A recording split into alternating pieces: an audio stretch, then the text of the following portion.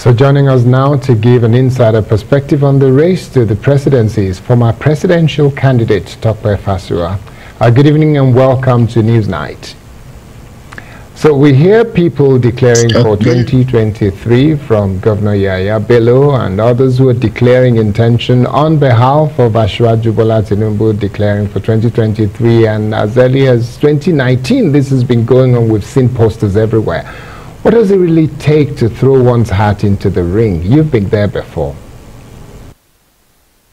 Well, I think the first thing it takes is uh, for you to know that you are qualified uh, as per the constitution of the country and to have a conviction to want to try you know.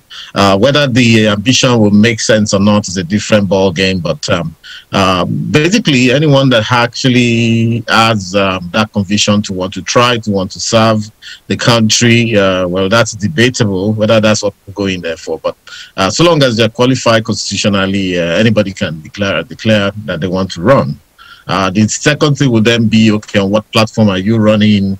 Um, because a number of people would aspire, but will never get a platform. Uh, maybe they've never created a platform or they don't have the uh, wherewithal to get on any platform.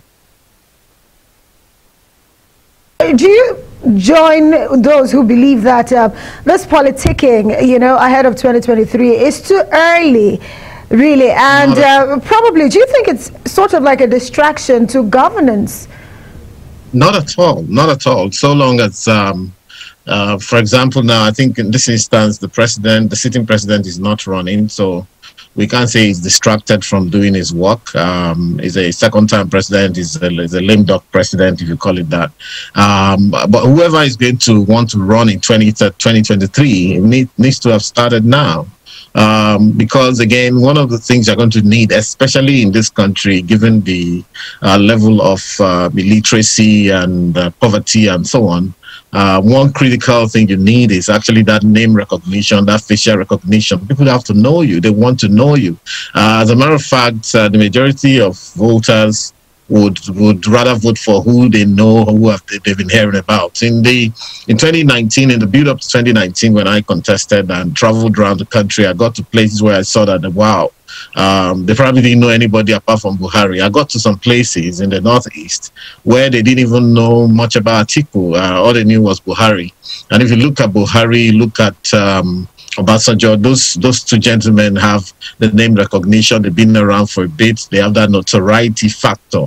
And it was easy for them to be elected across the country.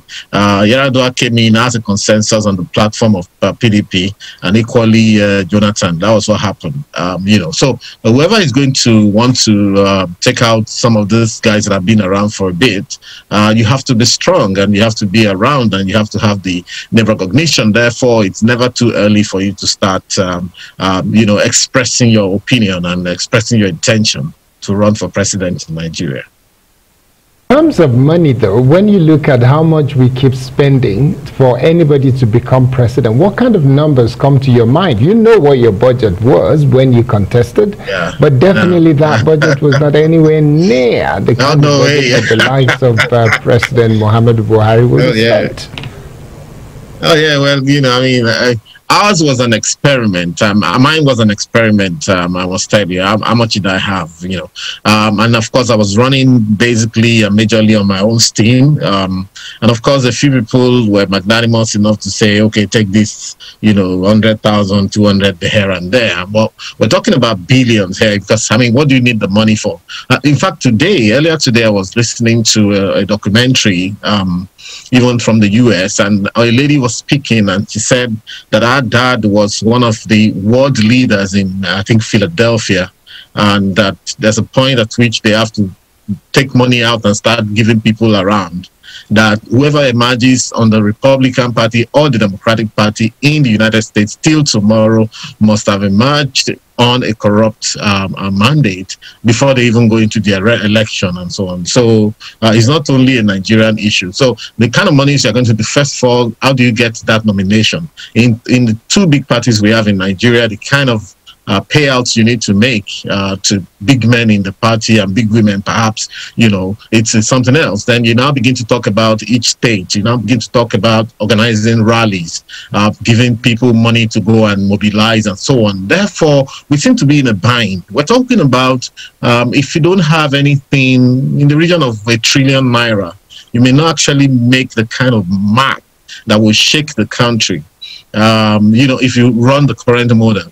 If you run a, a, a model that was a bit more honest, um, you still have to spend a, a, model whereby you, you know that if you give someone, you know, a million naira, they could do the work of 10 million that, you know, that have done for you in any of these big parties. You will still need at least, uh, I must tell you, you need at least uh, 10 billion to, to make an impact in this country in the election. So it's a lot of money we're talking about now. Who's going to be ready to invest that kind of money? In fact, some of the guys that ran in 2019 with me, a few of them, you know, who were technocrats, they spent quite a bit of money. I mean, some of them were able to raise maybe 500 million, close to a billion, which they spent. And of course, if you're going to be running on any of the uh, smaller parties, that means you must build from the scratch. And of course, you're going to be running with against parties like PDP and APC who have, uh, if you like, quote unquote, direct access to patronage uh, and sometimes direct access to the coffers of state governments and, if you like, the federal government, uh, truly parastatals and so on. So there's a lot of money. Um, however, I think it's still something that um, new people should continue to contemplate and try to see. Uh, you never know. Maybe the, maybe the big guys will make a sleep at some point in time, and someone new can emerge. Tope, if I'm a person who is considering to run in 2023, but with this your breakdown ah. now, I'm worried, honestly, because we see a lot of challenges, especially for technocrats and even women in politics. They don't have this yeah. war chest that we're talking about here. So moving forward, what more can be done, especially from the party level, to ensure that we see more people who are competent run for this office without spending as much as you have just told us?